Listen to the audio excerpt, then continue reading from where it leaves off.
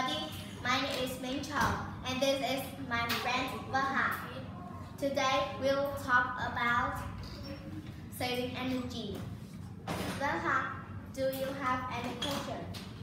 I think we should through because we can reduce traffic jams and save fossil fuels. We should take carpools when we go on our family trip and we can save money. We should take one course instead of two, three or more courses. Yes, I think you're right. But we can, can use public transportation too. Use tra use public transportation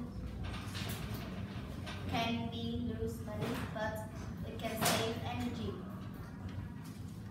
And we can and go by bike or walk to travel nearby too. I agree with you. We should also save electricity.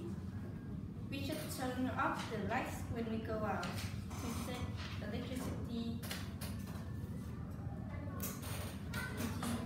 We should also use small ele- electric fans instead of the air conditioner because the air conditioner cost waste more electricity than fa- fan.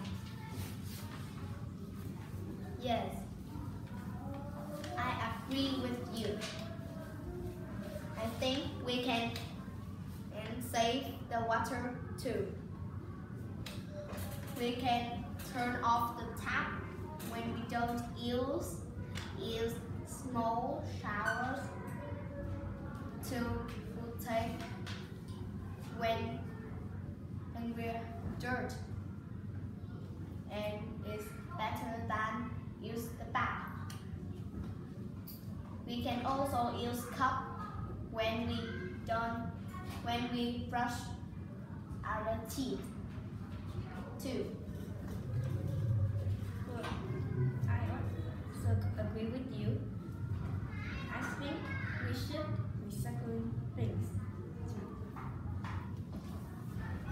I don't I'm not sure in your opinion because recycle can be expensive and can be waste energy. But if we reuse it's better. It's better. And we can and we reduce the our daily carbon footprint eat less meat or or walking and many things other. Oh, I agree with you. Do you have any questions? It's the end of my presentation. Thank you for listening.